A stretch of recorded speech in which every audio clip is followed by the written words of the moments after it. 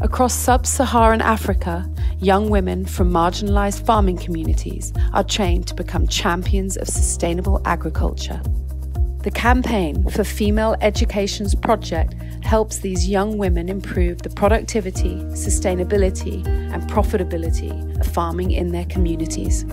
The Climate Smart Agricultural Guide program is about young women going back to their communities and harnessing what they've now learned, the modern knowledge about climate, about what causes it, but also harnessing the indigenous knowledges and saying, how do we help the resilience and the coping in our communities?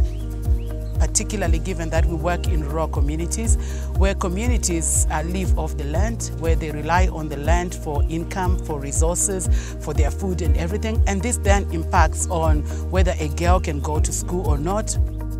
It is very important to share what I've learned to other women so that they can grow their own crops, to have food secure and they can have their own money so that they can send their children to school.